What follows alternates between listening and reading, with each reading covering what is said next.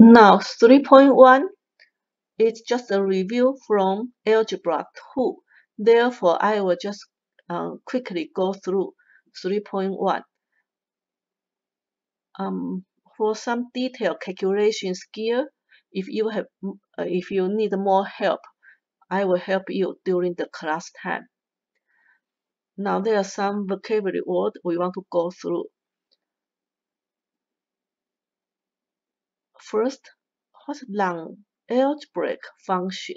So right now, if we have long algebraic function, we have a special name for you here. What's non-algebraic functions? Uh, it mentions exponential and logarithmic functions. Exponential function y equals to 2 to the x. When x flow in the air, that's exponent. And the logarithmic function is just the inverse function of logarithmic function. Now, why these two called non-algebraic functions? The definition of non-algebraic function actually is the polynomial function. So as long as the function not a polynomial function, then we have a new name for it. Or we simply say non-algebraic functions. Now what's polynomial function? Do you still remember? It's something like, a, for example, 3x 7 degree take away 5x square plus 7x or 9x take away 1. Something like that. Okay? Polynomial function means your base is x and the exponent no x. Okay, and your exponent need to be the whole number. Now we talk about number two. One-to-one -one property. What's one-to-one -one property means? One-to-one -one property.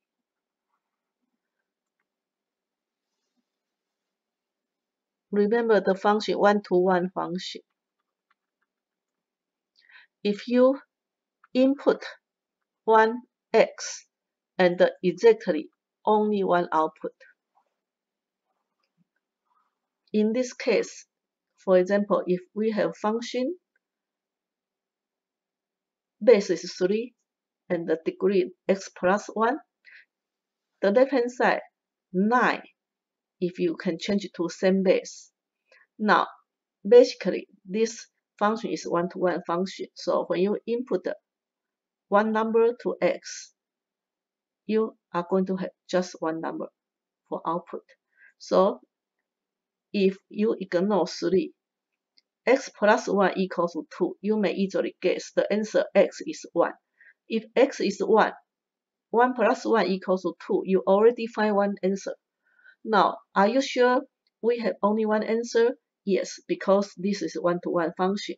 Therefore, as long as you are able to find one find one one answer, then that's the only one answer. So as long as you are able to find one solution, then it is the solution. So one-to-one -one can let you um, simply just try to find one answer, then you are fine. Now, how you easily to find one answer? You may change different base to the same base if that's possible. And then the exponent need to be the same. So all over the 3.1 calculation questions, we use this property all the time.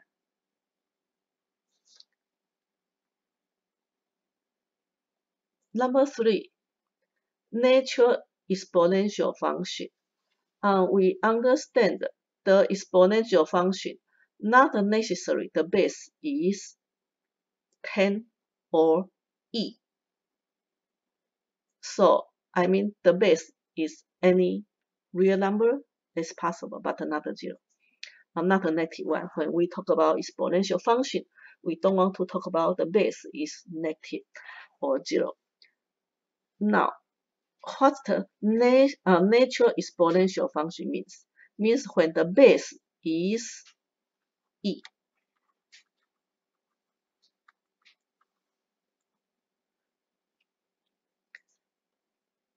And E also called natural base.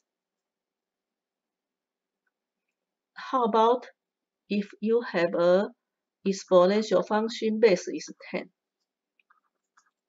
Then we call it common, common base, or common exponential function.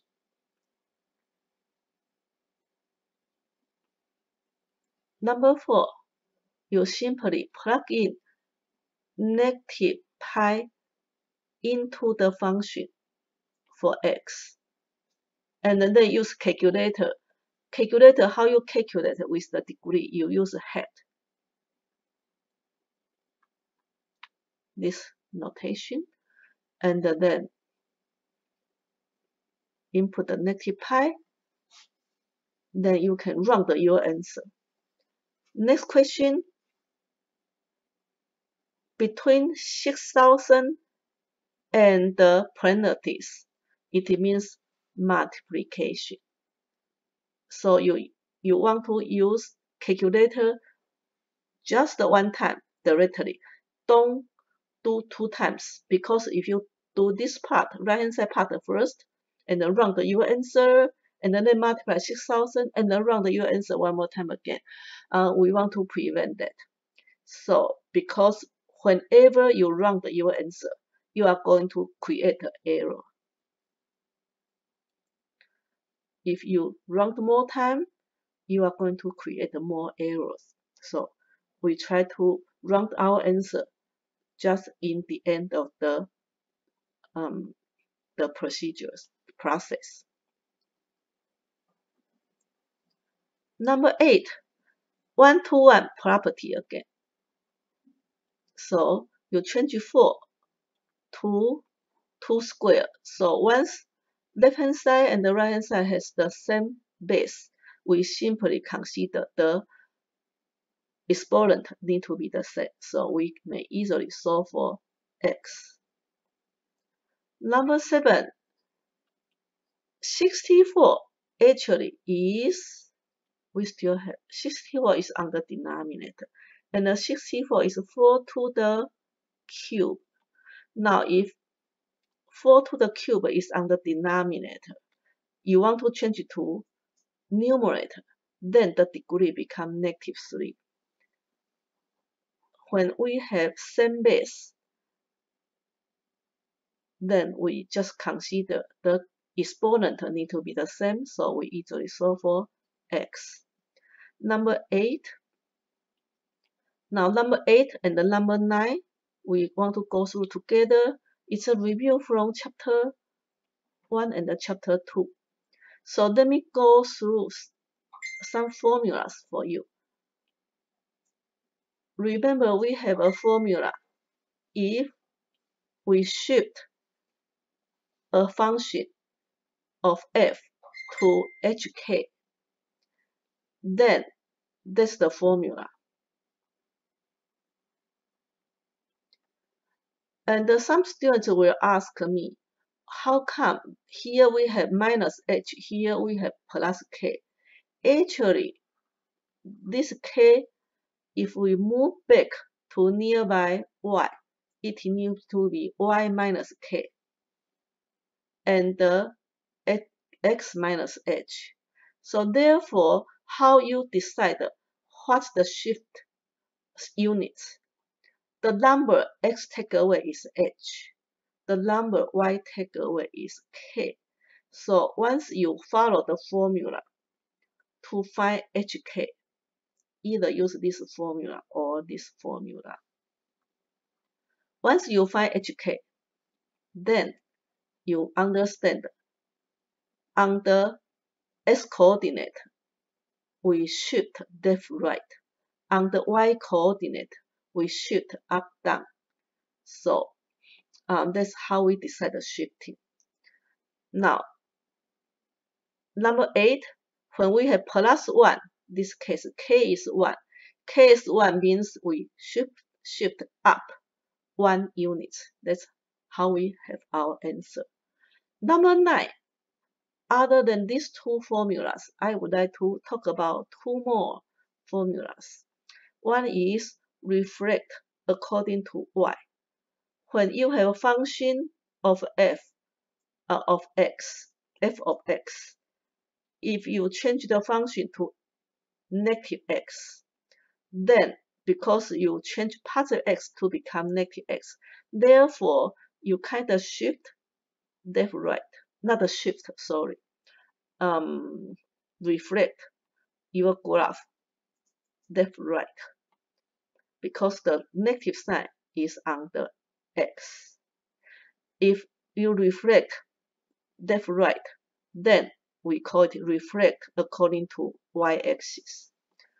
The other situation is if you have negative function, then positive y become negative y. So when you change positive negative for the y, then it is reflect your graph according to x because you change up down. And uh, if you reflect according to y, you change left right. Now, number nine question. Number nine. Your original function and this uh, new function. This new function, you have negative x. When you have negative x, you want to bring negative outside the planar disk. By this way, negative 5 become positive 5. So the number x take away actually is negative 5. So the number x take away, the h is negative 5. If h is negative 5, you shift to the left-hand side 5 units. And uh, when you have negative sign outside the x, is this situation. x is negative. Now, you reflect the graph according to y-axis. y-axis.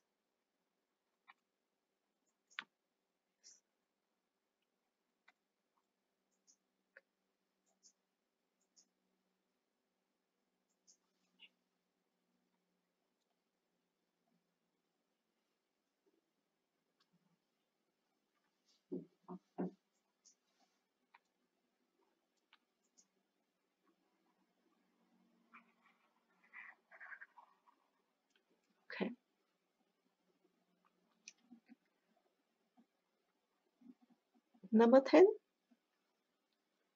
Um, number 10 is just use calculator. You plug in 170 to the x. And you have two choice. Either you can use a hat or you find if your calculator have this function, you plug in 85 170 divided by 285. Then you just round your answer. Number 11, same thing. 551 multiply. And you plug in 43. You round your answer easily. Use calculator. Okay. Number 12. Um, this function, you may use graphing calculator to graph to find to choose the right answer. And also they ask you to plug in negative 2, negative 1, 0, 1, 2, you just follow to do it. Okay. And when you want to graph how you set up the window, since the question already give you some hint, you want to input the x between negative 2 and the 2. So you may make a little bigger window to graph. And once you calculate all the x and the y, this means y. You find x and y, so you have coordinate 1, 2, 3, 4, 5. You have 5 coordinate. And you plug in to the function, uh, to the grid paper, then you can easily graph or you can use graphing calculator. If you try to use graphing calculator, you input you try to find y1 and then input. After you input, you need to make sure you set up the right window and then choose graph. on your calculator. After you choose your graph, and once you see the graph, name, then you may use trace on the calculator, and the trace will give you a cursor, and you move your cursor along each point. They will give you the coordinate. So very close to negative 2, very close to negative 1 or 0, you may find the answer. So you may compare your calculator answer with the approximate y value from your calculator. And then connect them together. This is supposed to be our graph. Next, number 13, one-to-one -one property again. Since we have same base, so we simply compare the exponent need to be the same. Number 14, same thing, but this time we have x squared plus 12 equal to ax. Now, when we want to solve for quadratic equation, you want to solve for equals to 0, and then factor by 4 year.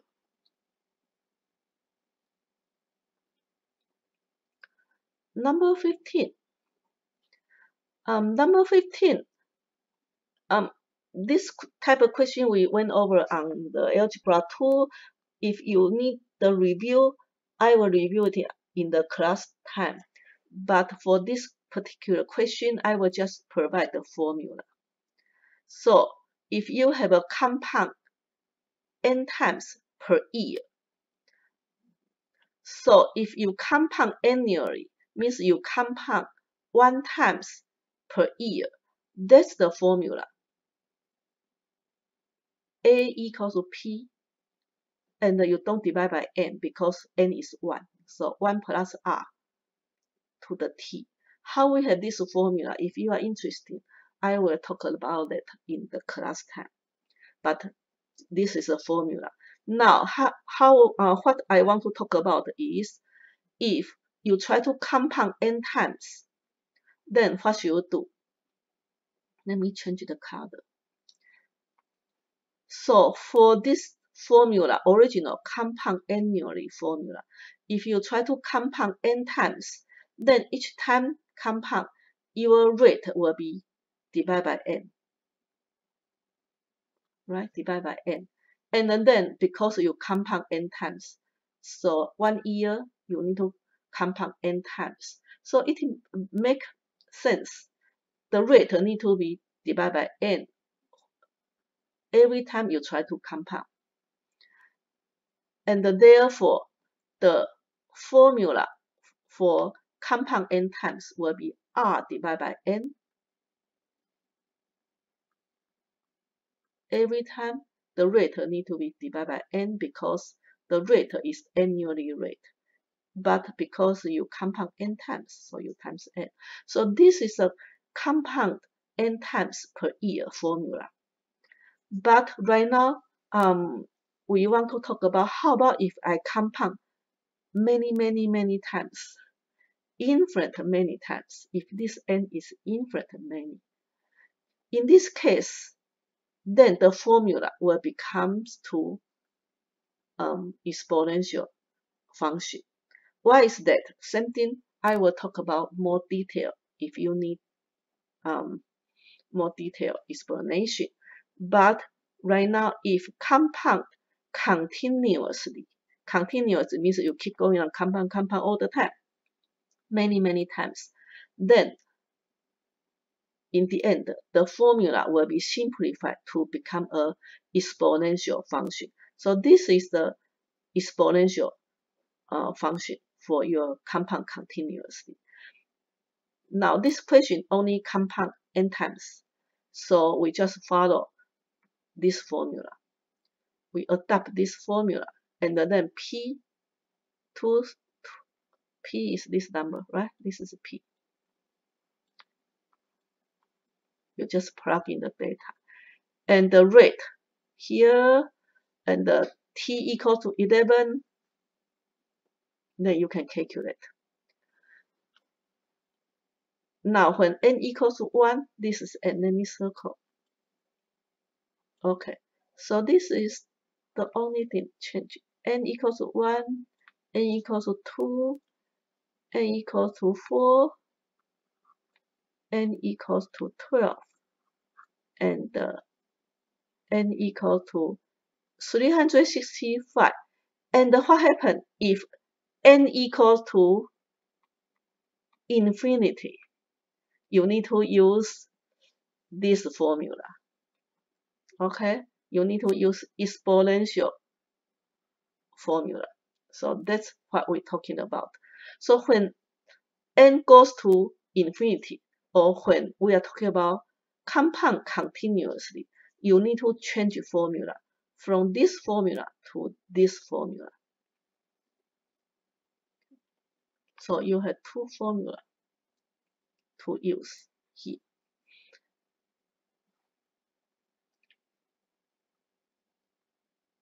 Okay, so all you have to do is you use your calculator, plug in all different number for n, and evaluate. You may get your answer here. The question.